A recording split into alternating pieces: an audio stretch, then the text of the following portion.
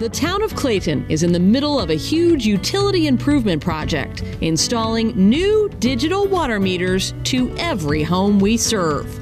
You'll start to see crews arriving in your neighborhood.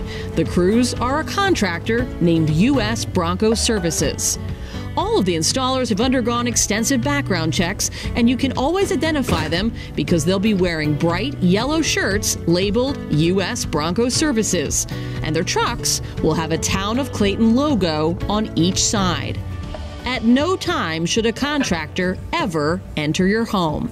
Your water meter is located in the ground, usually near the street in front of your home.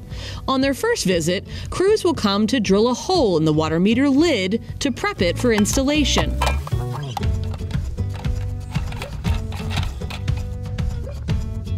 On their second visit, they'll knock on your door.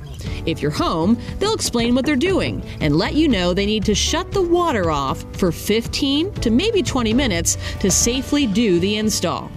If you don't answer the door, they'll go ahead with the work.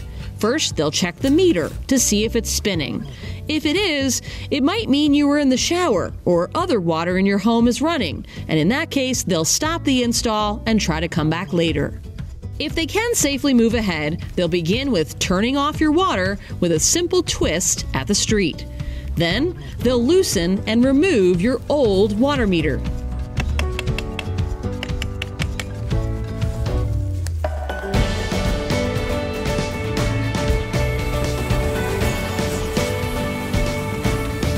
Next, they'll secure in your new digital meter. And literally, that should all take less than a few minutes. Again, you do not need to be home when your new water meter is installed.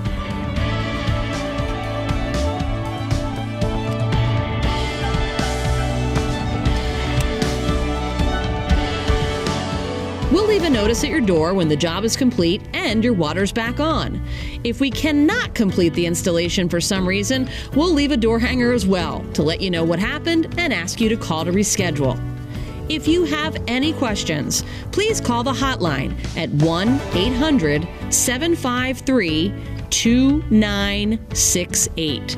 That's 1 800 753 2968 anytime, night or day. For more information about this town utility improvement project, go to claytonnc.org slash meter or email us at info at townofclaytonnc.org.